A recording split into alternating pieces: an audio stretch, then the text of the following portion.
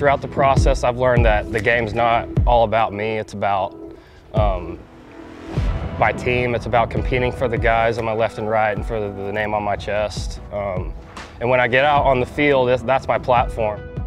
The process. That's a big phrase for ORU redshirt freshman pitcher Sam Rainwater. For Rainwater, that process was more than 18 months of pain, patience, and growth after finding out he needed Tommy John surgery on his right elbow after his senior year of high school. Rainwater says even that initial news was a hurdle to deal with. At first, I was, I have to be honest, I was pretty upset. It was, it was pretty rough on me to have to deal with, but um, over time, like, I started to get more hopeful when I got closer to that 12 to 18 month mark. Like I started to get more confident in myself and working with Wes every day. But um, yeah, it was, it was pretty rough to hear the news when I first heard about it. Um, I tried to keep positive about it and, you know, learn more about myself and, you know, staying out of the game for 12 to 18 months, you can learn a lot about yourself over that time period. More than two years after the initial injury, Rainwater is back on the mound, now in a Golden Eagle uniform. He initially was concerned about the status of his scholarship, but former ORU pitching coach Sean Snedeker reassured Rainwater that they would do anything they could to help him. Snedeker has since moved on, but Rainwater credits current pitching coach Wes Davis, athletic trainer Miles Wilcox, and several others around him for helping him work back to experience one of the greatest moments of his career this spring in particular, getting to go out there for the first time against Murray State, that was one of the best feelings I've ever had in my life. Last year, those guys that you know got drafted, I looked up to big time, but I looked up to Kyler Stout big time last year because um, that guy just dominated every time he went out. So I, I, wanted to be like him pretty much every day. I wanted to do what he did. Um, but those guys encouraged me every single day. Whenever I was down, whenever I was hurting, my arm wasn't feeling great, they're like, it's just part of it. Keep pushing, you'll be fine.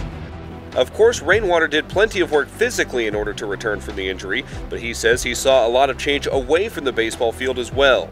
My faith over before surgery honestly wasn't too great.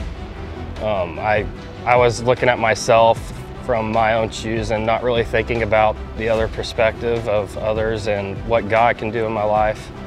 And having a year and a half just to sit back and to, you know, devote more time to not myself, but others and to what God's plan is for me.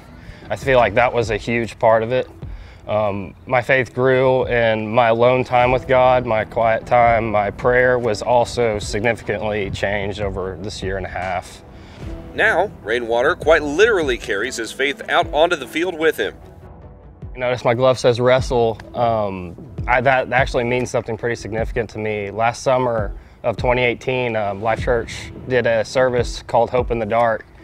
And Pastor Craig, which is the head pastor of Life Church, he was using a key word throughout the series, which was like a four week series.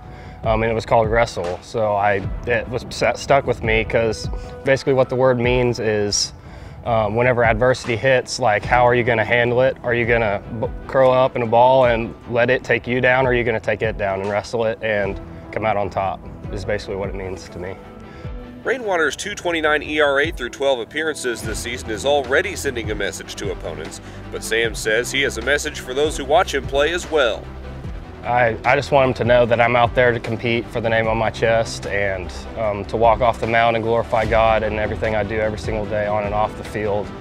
Um, that's been my goal in this year and a half is to work to where I can get back and of course I want to dominate and do well on the field, but no matter what, ultimately I want people to know that um, Christ is number one in my life, and the people that were around me this year and a half, and uh, my supporters, they're number, they're also big time in my heart. They're up there, so I just want them to know that.